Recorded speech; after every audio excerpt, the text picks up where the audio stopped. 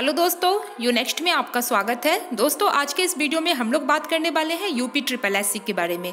तो दोस्तों, सबसे पहले तो मैं आप सबको एक बात बता दूँ, आप सबको मैं सॉरी बोलना चाहूँगी क्योंकि यहाँ पे ना थोड़ा सा आवाज़ की आपको प्रॉब्लम होगी क्योंकि हमारे इधर थोड़ा सा शादियों का माहौल है, जिस वजह से कुछ आपको साउंड का जो है थोड़ा सा प्रॉब्लम हो सकता है। उधर बाहर से आवाज़ आ रही है काफ़ी ज़्यादा।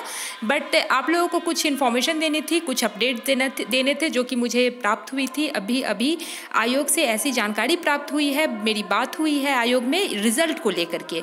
तो दोस्तों, आप सब अभ्यर्थी जो भी पेंडिंग रिजल्ट्स के लिए वेट कर रहे हैं, आप सबको बता दें कि आप लोगों का ना इंतज़ार आज खत्म हो सकता है, खास करके जो एजीटीए वाले अभ्यर्थी हैं उनका।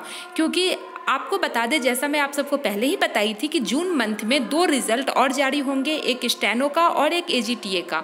तो आप सबको बता दें कि एजीटीए का रिज़ल्ट जो है, वो फाइनल हो चुका है। ये जानकारी मुझे आज आयोग से मिली है। आज देर शाम जो है एजीटीए का रिज़ल्ट जारी किया जा सकता है।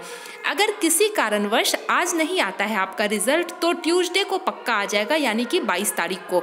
दोस्तों, आप सबकी बहुत शिकायत थी। आप सब मुझे बार बार बोल रहे थे कि आपने कहा था कि 20 से पहले रिज़ल्ट आ जाएगा, लेकिन नहीं आया। तो एक बात आप लोगों को और भी क्लियर करना चाहूँगी कि अभी बीस हुआ नहीं है, आज अठारह तारीख ही है।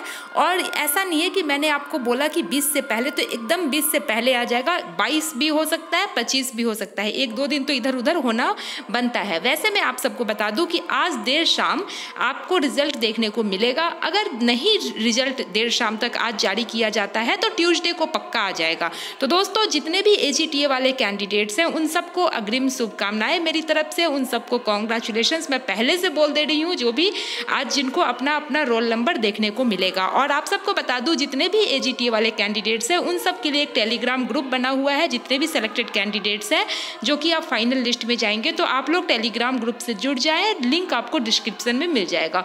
तो इस वीडियो को मैं यही खत्म करती हूँ, फिर मिलते हैं अगले वीडियो में, तब तक के लिए bye bye thanks for watching